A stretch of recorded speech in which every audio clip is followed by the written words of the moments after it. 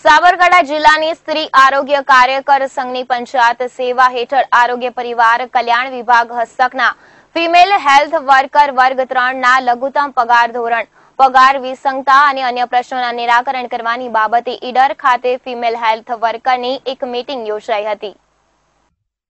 ગુજરાત સરકારના પંચાયત સેવા હેઠળના આરોગ્ય અને પરિવાર કલ્યાણ વિભાગમાં અલગ અલગ જગ્યાએ ફિમેલ હેલ્થ વર્કર તરીકે વર્ગ ત્રણમાં ફરજ બજાવતી મહિલાઓને આરોગ્ય અને પરિવાર કલ્યાણ વિભાગ દ્વારા અમલમાં મૂકવામાં આવતા તમામ પ્રોગ્રામો જેવા કે રસીકરણ કાર્યક્રમ, મેટરનલ, ચાઇલ્ડ હેલ્થ ડિલિવરી, કુટુંબ નિયોજન, રોગચાળા, અટકાયતી પગલાં તેમજ તમામ નેશનલ હેલ્થ પ્રોગ્રામો હેલ્થ આર્મીની જેમ આ વિભાગમાં કામ કરતી મહિલાઓ પોતાના પરિવારની પરવા કર્યા વગર ઘેર ઘેર ફરીની સેવાઓ આપે છે.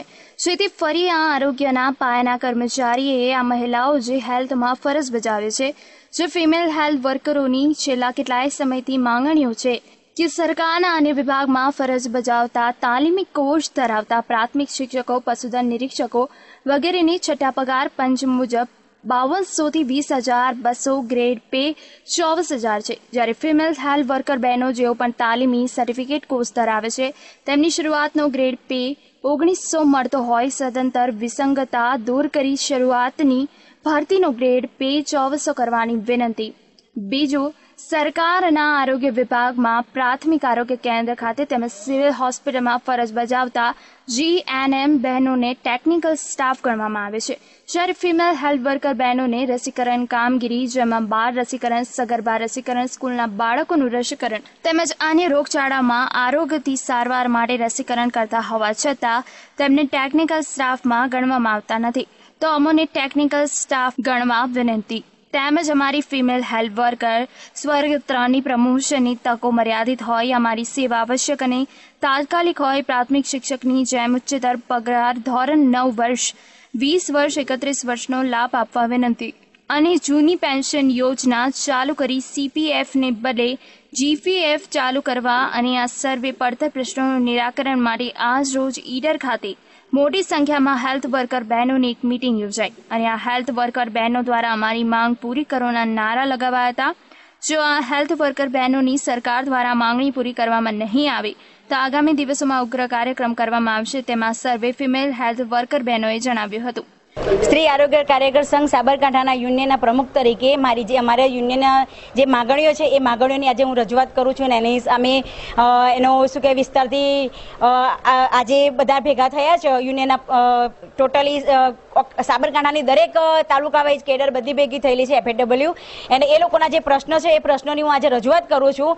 એમાં મેઇન પ્રશ્ન અમારો છે, ઘેર પ્રે વધારવા માટે. પહેલા જે ઓગણીસો ઘેર પ્રે હતો, એ અમારો અત્યારે અઠ્યાવીસો કરવા માટેની રજૂઆત છે.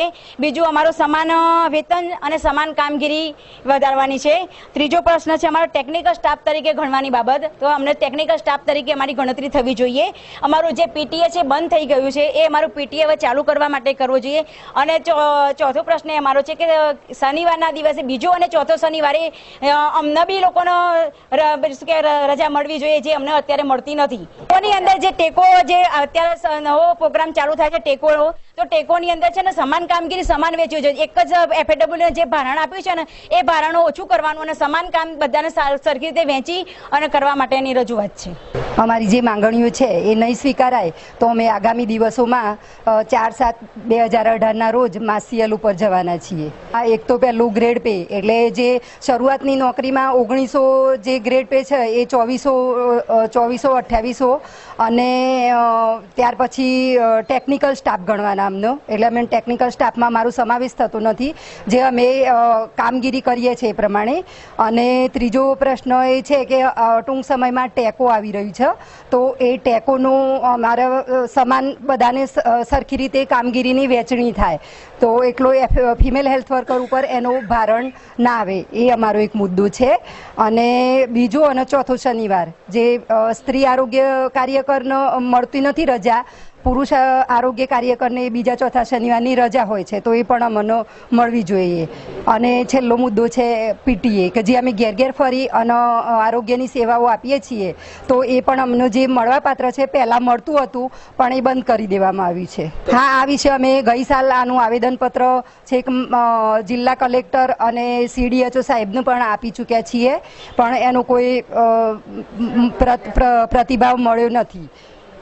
પ્રફુલ બારોટ સાથે લાઈવ ગુજરાત ન્યૂઝ ઈડર.